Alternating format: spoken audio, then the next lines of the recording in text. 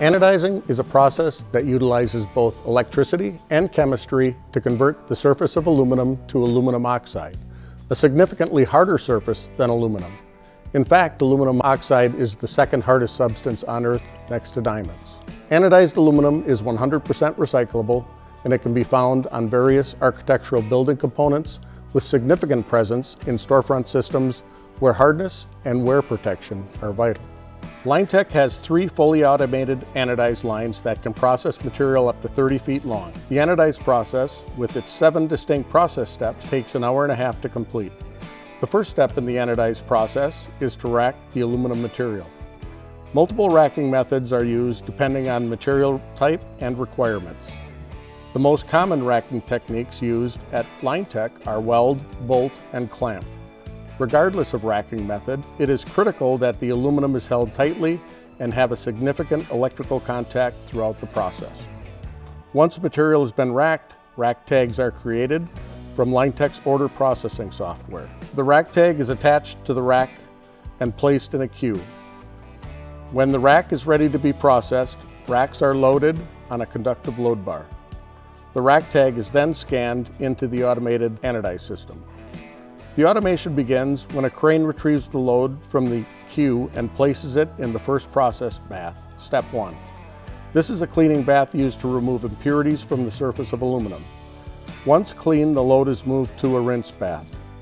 Step two is an acid bath. This bath contains fluorides that attack the surface of the aluminum, creating a microscopically rough surface that helps to mask die lines and other surface imperfections. The material is then sent to the next rinse bath. Step 3 removes the fluoride left on the aluminum from the acid etch bath. This is accomplished in a short time and the load is moved to the next rinse tank. Step 4 is the deox bath. The aluminum being anodized contains alloying elements such as silicon and magnesium. Most of these elements are not soluble in the etch bath and must be removed from the aluminum prior to anodizing. The deox bath removes these elements from the aluminum surface. The load is then moved to the next rinse and is ready to be anodized. Step 5 is the actual anodizing. The word anodizing comes from the way the aluminum material is electrically charged. The aluminum to be anodized is positively charged or made the anode. The cathodes in the tank are negatively charged electrodes lining the tank walls. While the load is in the tank, power is applied to the aluminum. The oxygen ions in the bath are negatively charged and are attracted to the positively charged aluminum being anodized. When aluminum and oxygen combine, they form aluminum oxide. The electrical current continues to run through the aluminum for about 25 minutes to generate a class 1 coating.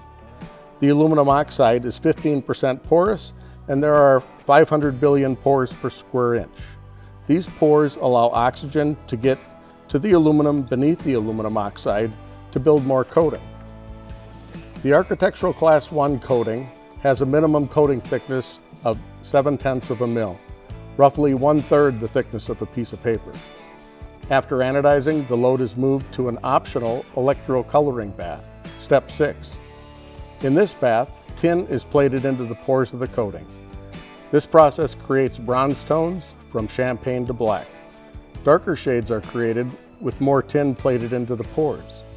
Linetec also has a proprietary copper anodize that produces an anodized finish that looks like copper, but does not patina like copper metal. Step 7. Sealing the aluminum oxide coating. At elevated temperatures near boiling and under very specific conditions, aluminum and water react and combine forming a compound known as boehmite. The seal process hydrates the aluminum oxide in the pores, essentially swelling them shut. This step is critical to ensure stain resistance and corrosion protection of the anodized coating. The anodized aluminum is then rinsed and is moved to the unload station where quality is checked. Material is then unracked and placed in carts or cradles for packaging or shipment. As I said earlier, the aluminum oxide is very hard and the coating relatively thin. The coating is also very abrasion resistant. To illustrate just how hard, I have a penny that I will use to try to scratch the coating. The non-anodized aluminum scratches rather easily, but the anodized aluminum does not get scratched at all. In fact, the aluminum oxide has worn away part of the penny. Thank you for allowing me to explain Linetec's anodizing process.